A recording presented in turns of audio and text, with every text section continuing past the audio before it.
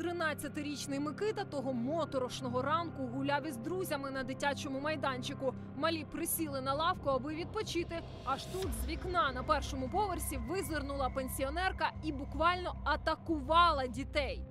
Напевно, в кожному багатоквартирному будинку нашої держави на першому поверсі обов'язково проживає така бабця, якій завжди заважають діти, що, мовляв, голосно граються під її вікнами. Хтось з них гучно кричить на малечу, хтось поливає дітей водою. А от у Харкові така сама бабця пішла набагато далі. Тільки уявіть, розлючена пенсіонерка визирнула з вікна, тримаючи у руках автомат.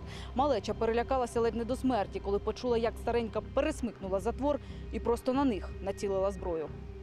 Жінку розлютило, що хлопці вигулювали собак, і одна погналася за котом. Ну, кот просто убежал, и все, ничего не было. А после этого эта бабушка высунула автомат и стала угрожать, что там отстреляет нам всем головы, и, ну, и вообще стала бешеные маты гнуть. Мы испугались, но я все-таки решил попробовать сфотографировать. Я успела, мне удалось запечатлеть такой кадр. Фото, яке шокований підліток виклав у соцмережі, спричинило справжній скандал. Всі були просто приголомшені. Звідки в бабусі справжній автомат. Аби ідентифікувати зброю, ми звернулися до експерта. Видел фотографию, стреляет, это страйкбольное оружие, э, внешняя копия ну, боевого автомата, но стреляет оно пластиковыми шариками э, калибром 6 мм. При присоединении магазина он будет выглядеть как э, сда- сдалека так точно будет выглядеть как настоящий автомат Калашникова. Таку зброю можна придбати без жодних проблем. Середня ціна від 6 до 15 тисяч гривень. Пластикові кулі легко можуть покалічити людину, вибити зуби чи навіть око. Навіщо цей автомат міг знадобитися пенсіонерці? Невже навмисно для полювання на дворових розбишак? Ми вирішили спитати в неї самої і вважає, нам іще пощастило. Стріляти жінка не збиралася, просто скрутила дулю. Ну і прийшли з камери. Господи, та й хай вже попровалювалися ці всі камери. Поліція розібрала, що не автомат. А що тут таке було?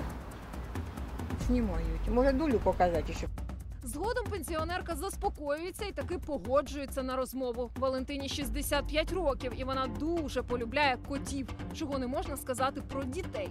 Зброю взяла в кімнаті 18-річного онука. Показати її тепер не може, бо після скандалу хлопець заховав автомат від бабусі. Про свій вчинок жінка не шкодує, лише незадоволена, що її фото потрапили в інтернет. Просто мене довели дівчинка, я онкобольна. А, Представте, вони мене довели до білого коліна. Я випускаю свого кота і вдруг туди летить на нього собака. Вони фу-фу кричать, я б схватив розірвав. Я б, може, якщо був би настоящий автомат, я б, може, і постріляла на нервах. Ви знаєте, які зараз оці, оці е, подростки по 13 по по 14 років.